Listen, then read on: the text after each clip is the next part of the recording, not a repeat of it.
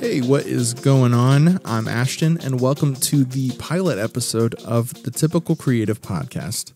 You know, the term creative has been fenced in far too often, which, seriously, think about it, it might be one of the most ironic things of all time that we fenced in, we put in a box this term creative. That means to like explore and find new, fresh ways.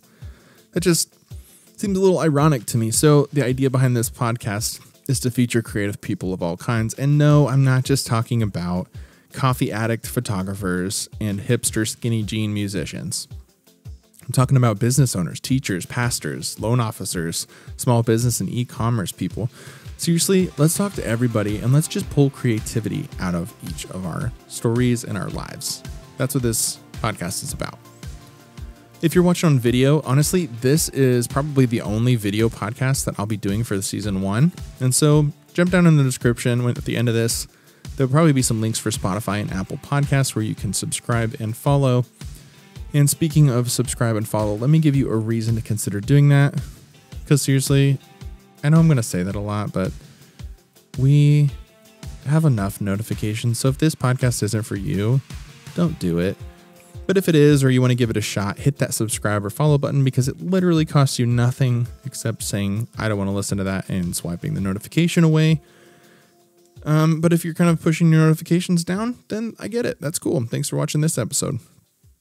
Okay, so a few years back, I realized that I uh, had labeled myself a air quotes creative person. Yay, I'm so creative. But it just wasn't it didn't feel right. I was trying to be creative by imitating people that I thought were creative or interesting. And it was funny because they really didn't have similar skill sets to me. And so I essentially was chasing my tail and spinning in circles.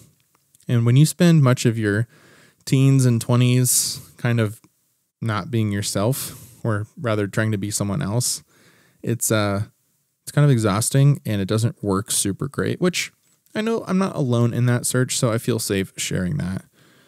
But, you know, yeah, that sucked. So, anyways, I realized a few years back that I needed to kind of create a term to help me realize and remind myself the creativity that did live in me.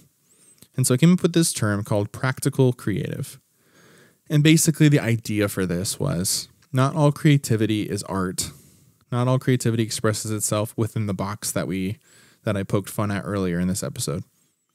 But a lot of creativity shows up in being good at logistics, good at event planning. Maybe you're good with social conversations and developing networks. That's all creative stuff too. Maybe you have taught the squirrel in your front yard to trust you and come eat almonds out of your hand. Or maybe you realized that your communication style and expectation for how often you hang out with your friends when you got married is much different than your spouse. So, those are all things we'll be talking about with different people on this podcast, and I'm very excited about it. So, I realized a few years back that I simply had to stop trying to be everybody else. Ouch. You just have to be the best you. And I think that's a really helpful thing to think about. So, continue finding ways to make the world better that you live in. And uh, if I haven't already convinced you to subscribe or follow to this podcast, Totally fine. I get it. Still love you. Hope to give you a high five at the coffee shop one day when this whole pandemic thing kind of settles down. We all get vaccinated and we're good to go. But here's the deal in this podcast, you're going to hear awesome stories from all kinds of different people in the world. Probably people you love, people you never met that you'll learn to love, and maybe some other people that I won't describe. So hit that subscribe or follow button Tune in next week and every week to discover all the crazy, in all the ways I mean that, all the crazy creative people around you. And hey, you may even realize how creative you are and didn't even know it. So until then, stay creative. I'll see you next week.